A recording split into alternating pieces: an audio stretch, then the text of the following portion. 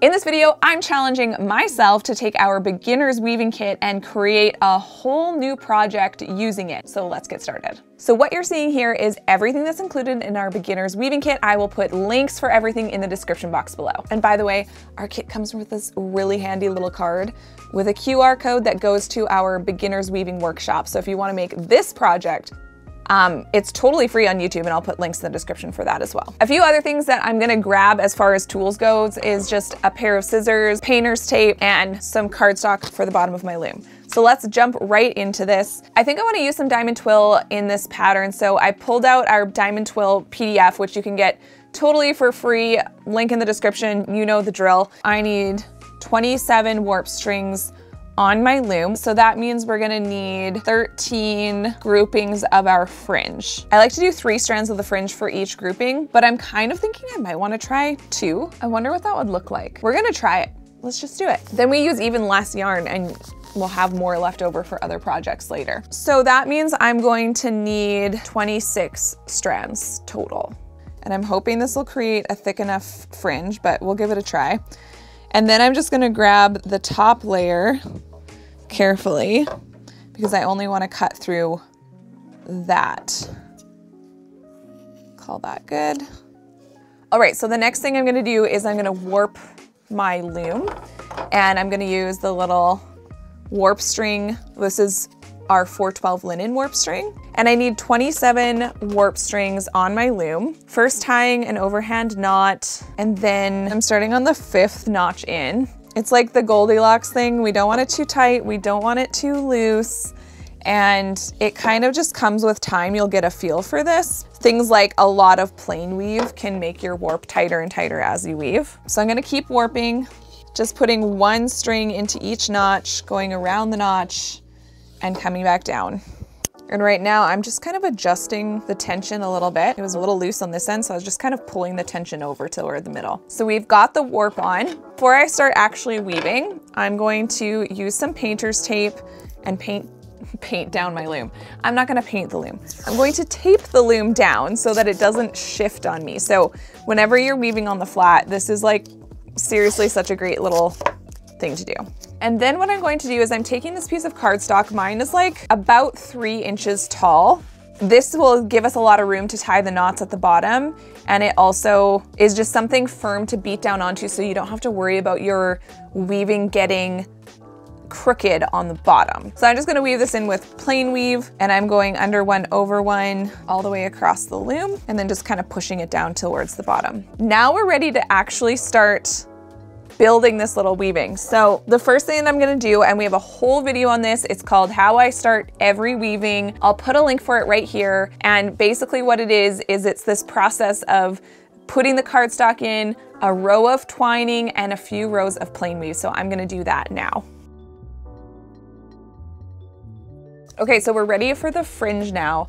And I'm going to attempt to just use two strands where I would normally use three because I'm just curious how it's gonna look. Is it gonna be okay? I'm using a simple Rya knot to do this, and I'm gonna be working on two warp strings at a time.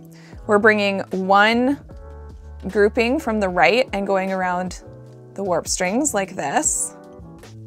Then on the left, same thing. So we're going around and in between those two warp strings.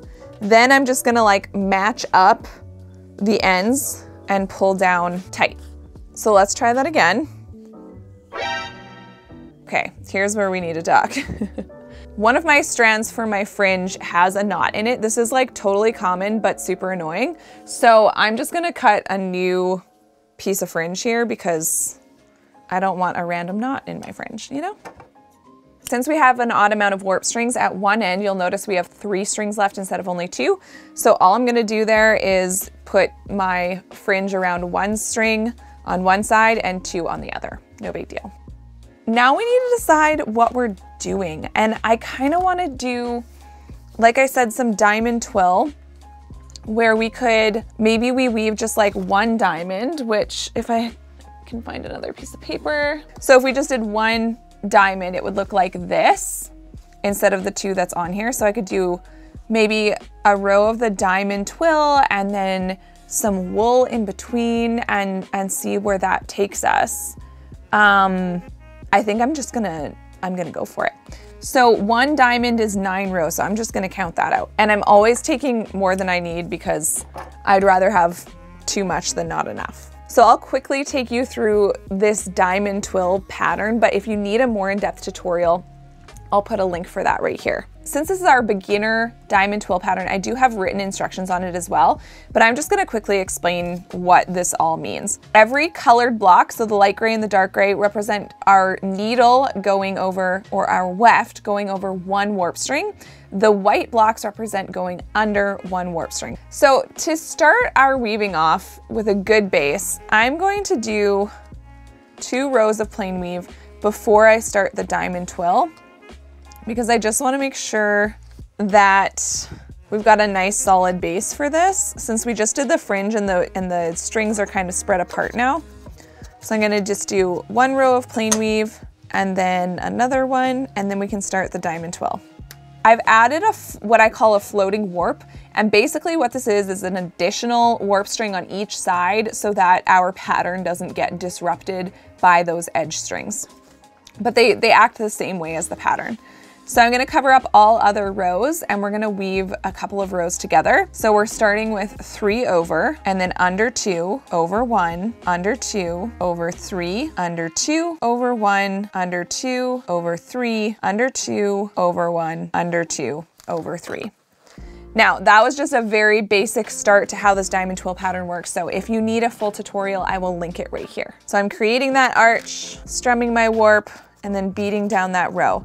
Now the trick with diamond twill is that you don't wanna beat your rows down too tightly when you're using a yarn of this size because what's gonna happen is you're going to basically make your diamond twill disappear if you beat down too hard. So I'm just beating it down very gently so that the pattern will actually show up. Okay, so I have one full diamond in and now I think I'm gonna end it off with some more plain weave. So I'm just gonna do another two rows of plain weave. All right, so that looks great. So now I think we should pull out some of the wool and decide what we wanna do potentially with the wool out in the middle, and then maybe we'll do some more diamond twill at the top. So I have two colors of wool. I definitely love this like bluish gray color. But the question is like, do I wanna do, I don't know if I wanna do sumac stitch. I'm kind of wondering about doing maybe that little, like that bubble effect that I like to do. I think that might be kind of cool. And maybe we'll do like a few rows of it. Like maybe we could do something like that, like a little stripe effect in the middle. Let's give it a try. The first thing that I'm gonna do though, especially since we're working on such a small weaving, what makes your wool go even further is you can actually, um, I'm just kind of like letting it unravel here. What I'm gonna do is I'm gonna split it in the center and this is gonna make our wool go twice as far. So what I'm gonna do is I'm gonna try to find a natural split point that's about half and I'm not seeing one that's about half, so I might have to create one. Although right somewhere in here, so I'm just basically trying to, there we go, split it in half so that I have two equal thicknesses when I'm done splitting it. So I'm just very gently kind of letting it fall apart. This is a very fine wool, so it does like to like it'll, it'll fall apart if you just kind of pull very gently. So I just kind of rolled this one up. I'm gonna set that one aside and I'm just gonna use this half for now. So I need to decide like how much of an area I'm gonna fill up with this.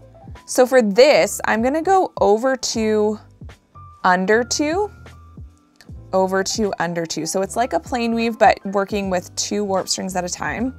And again, because we do have that odd amount of warp strings, over the last bit, we'll just go over three warp strings.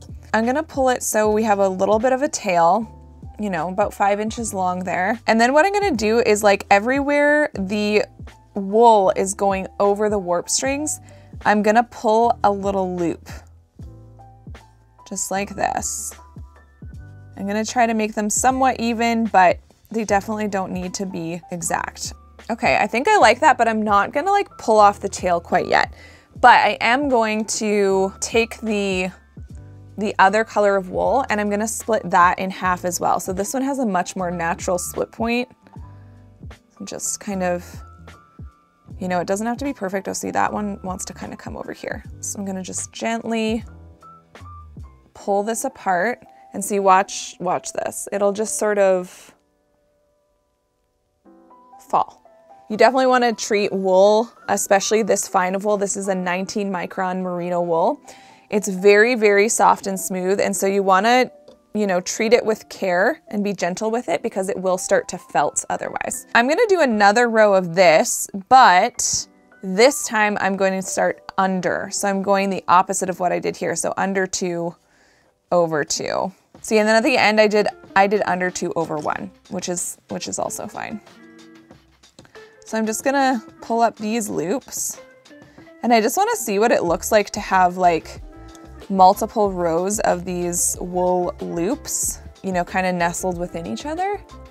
I've somehow never really done that before, but I kind of like it. Okay. In that case, I'm gonna leave another tail on this end and what you can do with your wool, let's zoom out a little bit. So what you can do with wool, when you're trying to pull it apart, you don't wanna have your hands really close. Just put your hands a little further apart because the length of the staple or the length of the hairs is really long.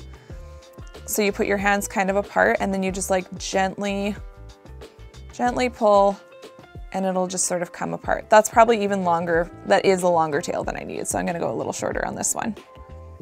There we go. That's a little better.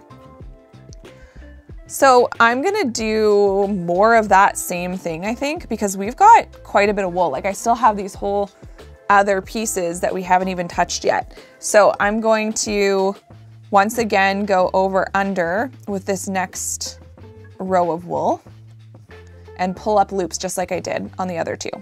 So now again, I'm going opposite of the blue row. So I'm starting on the under over. Now I'm just trying to decide if I like it.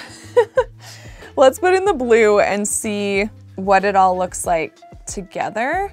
Okay, how do we feel about this? Is it too much? Ooh, it kind of looks like, the way that I've done this, it kind of looks like the beige is like little flowers. So I kind of like that.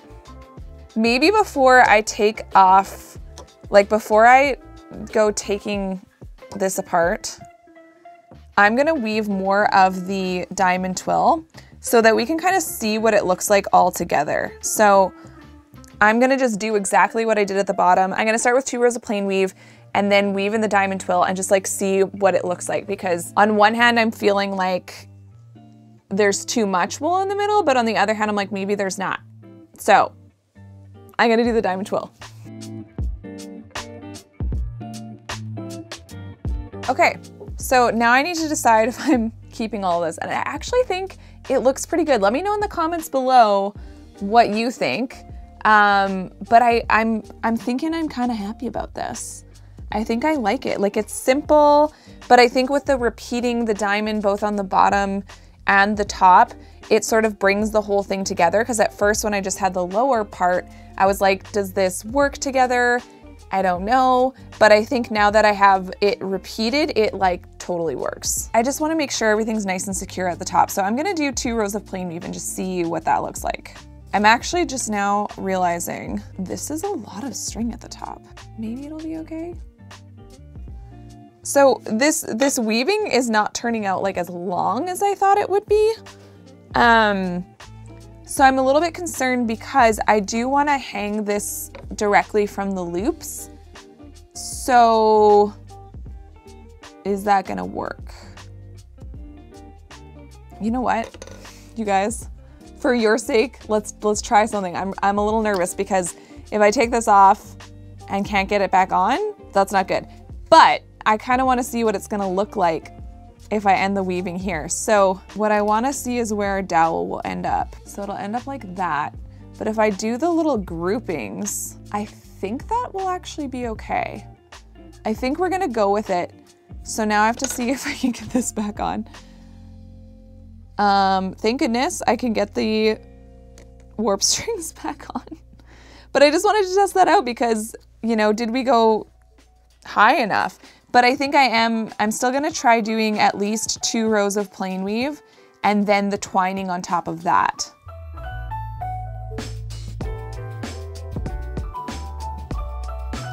So I did the twining at the top because this kind of like secures all the warp strings in place and spreads them out nicely and it's just a nice way to finish off the piece. I'm gonna cut off some of that excess. We're not done. We have some more steps to do. So we do have this little yarn needle that comes with the kit and that's gonna help us with the yarn tucking in the ends. So I'm gonna lift this up and we're just gonna flip it over. Bring all those tails to the back of the piece so that we don't miss any. And this part's gonna be a little interesting with how much wool we have in such a dense area, but I think we can do it. So let's start with the easy part. We're gonna take off the tape. And if you want to not squish your wool like I am currently doing, you can kind of prop up your loom in order to avoid that, but I'm not too worried about it. All right, so I'm taking the yarn tail I'm gonna thread it through this needle and I'm going to take it over to, actually I might take it all the way over here. So actually I'm gonna go through this loop here, then I'm gonna come down through this channel. See this little channel? We're just grabbing the loops on the back of the piece. We're gonna fish that tail through and cut off the excess. You don't have to cut it too, too short. And I'm gonna do the same thing with all the other ends as well. Okay, so now we're at the challenging part. We're gonna do the wool. And here's what we're gonna do. So since we went over two, under two, we're just gonna take the end of the wool. I'm gonna kind of use your, just use your hands and just tuck that underneath like so. But we need to look at the front again when we're doing this. I'm gonna go to two in. So I've tucked that under two different spots. I wanna turn this over and I wanna kind of pull this loop out a little bit so that it sort of matches what's going on here. I think I'm happy with that. So then what I'm gonna do is I'm going to trim this off. I'm not trimming super close. I'm not gonna trim off any of the other wool. And so it just sits kind of straight like that. And that'll just stay tucked in. So now I can go to that same row and do the same thing on the other side. It's gonna be a little bit different for anywhere we didn't go over a warp string at the end. So on these ones, with the beige on this side, we ended on the under. So I need to make sure that that's gonna look okay. And I think it actually will, but let's give it a try. So I'm gonna go in right here and tuck this under and then go to the next one and tuck this under. And then once again, flip this over, give it a look. And I think that that's looking good to me there and then we can go ahead and trim off that excess. So you can just continue that process to tuck in all of these ends. So now we're ready to begin taking this off the loom. Then the other side will just kind of slip off. We're gonna get this on the dowel soon, but before we do that, we wanna finish off the bottom. To give it a little bit of extra stability, I'm going to tie overhand knots on the bottom here. So I'm just tying a little overhand knot with two strings at a time and I'm butting it up against the bottom of the weaving, but I'm not pulling super tight. And then on the very end, I'm gonna tie a group of three strings together. Now I'm gonna tuck in all of these ends into the bottom of the weaving so that there's like a really nice finish. So I'm just using that little metal needle again and I put it into a few rows of that, the twining and the plain weave that we had at the bottom. I thread that needle, pull that loop through, and then just cut off the excess, and then that's all hiding in there really neatly. Those are all tucked in, but now we need to get this onto the dowel, and then we're gonna sort out this craziness because it's a little, it's a little too much. So I'm gonna take this dowel and we do once again have an odd amount of warp string. So I need to figure out how we're doing this. I think I'm gonna do one loop at a time. Let's see what that looks like. So to do this, again, we have a whole video on this, but I'll do it quickly for you here. You take the loop, my weaving is upside down, you open up that loop, flip it forward, and then take these two little ears, flip them forward again, and we're gonna slip put them together and slip this over the dowel. The reason I like to do that extra twist is it kind of locks the warp strings on just a little bit better. So flipping it forward, taking these two loops, flipping them again, bringing them together, opening them up, putting them over the dowel, and just locking them up towards the top. So I'm gonna take my hanging string, which is just more of my warp string, and I like to sort of wrap around the dowel about three times, and then I just tie a knot, trim off the excess, then I figure out how long I want the hanging string. So I usually like to go about two thirds of the weaving, so I'm gonna go down to about there. Then I'm gonna wrap this around three times again and then tie this end in a knot as well. Let's talk about the fringe. I'm gonna grab a steamer and then you're gonna see the magic of the steamer, you guys. It is pretty great. This looks like a little guy, you know? Like kind of like the Pixar lamp guy. Okay, are you ready for this? Are you, are you ready? Can you believe that? It goes so straight. I feel like I'm doing an infomercial. And now it's so straight. Okay, so once it's as straight as you want it to be, you're gonna kind of just let it dry a little bit because it's gonna be a little bit wet at this point from the steam. I don't recommend steaming your wool. Isn't that insane? Like it looks so nice and straight now and it was like so kinked up and that's that's all it takes is just a little bit of steaming. There's a couple different ways that I've cut my fringe before, but I've been using my table groove as my way to cut my fringe lately. So I'm using my weaving comb to just sort of gently comb out the fringe and make sure it's just kind of like neat and tidy and nothing is like curling up on us. Okay, let's give it a try. That's pretty cute if I could say so myself. Click this playlist here for videos on all the different techniques I used in this weaving.